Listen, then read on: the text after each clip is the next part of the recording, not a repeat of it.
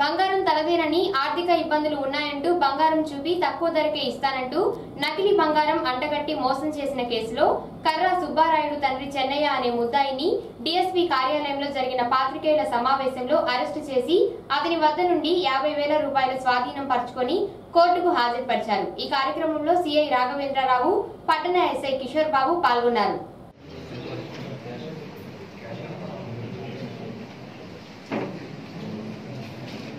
Dankeschön.